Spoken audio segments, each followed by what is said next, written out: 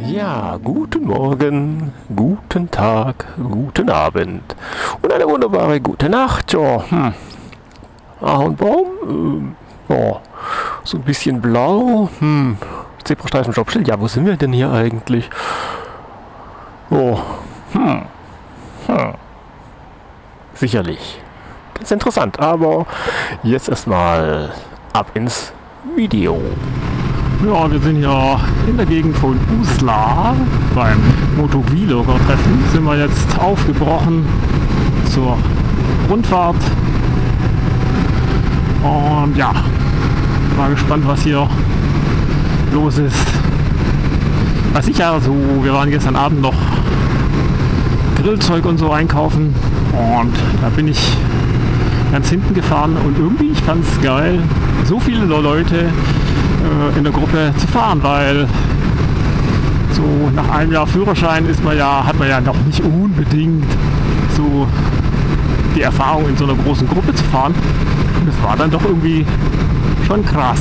Also wenn man mir vor zwei Jahren gesagt hätte, dass ich mal in so einer großen Gruppe Motorrad fahre, hätte ich gesagt, jo, träum weiter. Ne? Also ja, schon erstaunlich, wie sich das so entwickelt, muss ich sagen. Ja, so ein klein wenig ich weiß nicht, also gerührt, erstaunt, verwundert bin ich dann schon, dass das dass sowas in meinem Leben zustande gekommen ist. Motorradfahren in der Gruppe, ja. Hätte ich jetzt ehrlich gesagt auch nicht gedacht, dass ich sowas mal mache. Motorradfahren, ja klar, so. Aber dann in so einem Rudel, ja, manche Dinge macht man dann halt doch manchmal im Leben. Und wenn es Motorradfahren ist. Ich meine, gut, ich bin halt, äh, sagen wir, ein alter Fahrradfahrer und vom Motorradfahren ja immer nur geträumt, aber irgendwie nie wirklich gemacht. Aber halt jetzt dann doch. Und dass das jetzt dann auch gleich so ausartet, sag ich mal, hätte ich jetzt auch nicht erwartet. Also, ja, schon so in gewisser Weise auf meine alten Tage äh, ein Highlight meines Lebens, wenn ich das mal so sagen darf. Ja, ja, und mit einer Träne im Knopfloch der Rührung. Ja, Wahnsinn. Es ist Sommer und es gibt viele Fliegen. Wir haben uns erst überlegt, fahren wir abends oder fahren wir jetzt? So mit der Idee, abends wird es ja wieder kühler, aber dann, naja, wenn wir abends fahren, dann wird es ja schon wieder dunkel. Also haben wir uns entschieden, wir fahren jetzt. Und das ist so 11 Uhr. Und ich muss sagen, ja, mit Fahrtwind geht das schon. Und ja, alle gehen jetzt erstmal tanken. Ja, super. Kein Wasser.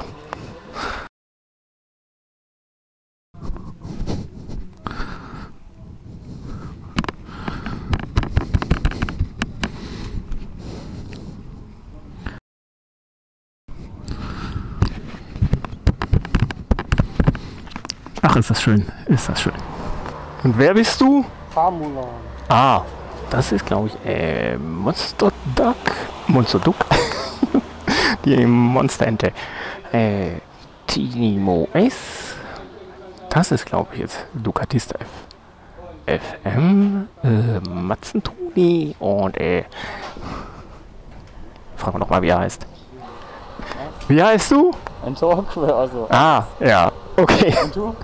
Kenji Motoyama. Okay, habe ich schon mal gelesen. Nee, nee.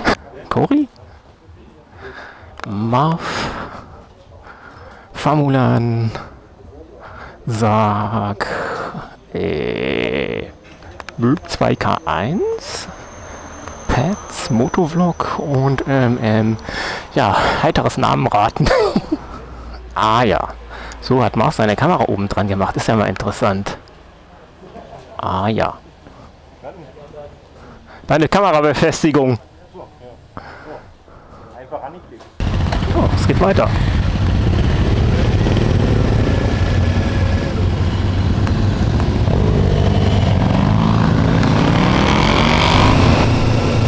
Oh Gott, Entork hat da vorne einen Selfie-Stick dabei. Was ich hier ja auf dem Land so komisch finde oder ja so, so anders, du kannst nicht mal irgendwie alle zwei Minuten anhalten. Wenn dir irgendwas juckt oder irgendwas nicht richtig sitzt, kannst du nicht mal kurz auf die nächste Ampel warten. Nein, hier ist immer frei, hier ist immer grün. Immer fahren, fahren.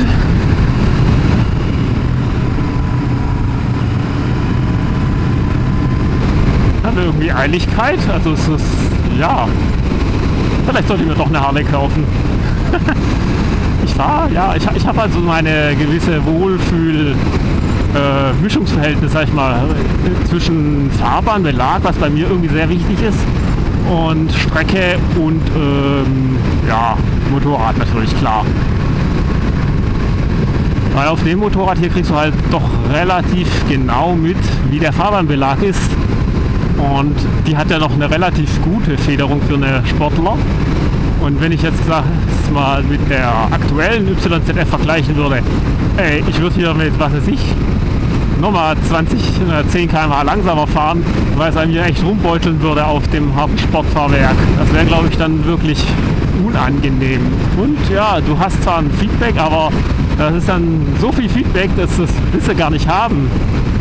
Weil das einfach nur unkomfortabel ist. Muss ich sagen, also mit der Ypse hier, wenn ich da, jetzt sagen wir mal, auf der schönen Autobahn oder auf der Rennstrecke fahren würde, da könnte ich, würde ich mal sagen, entspannter schnell fahren als wie hier auf der Landstraße, wenn das jetzt, also sagen wir mal, der gleiche, die gleiche Strecke, nur mit unterschiedlichem Fahrbahnbelag, also hier mit so Flicken, dann macht ihr natürlich auch äh, einen Strich durch die Rechnung.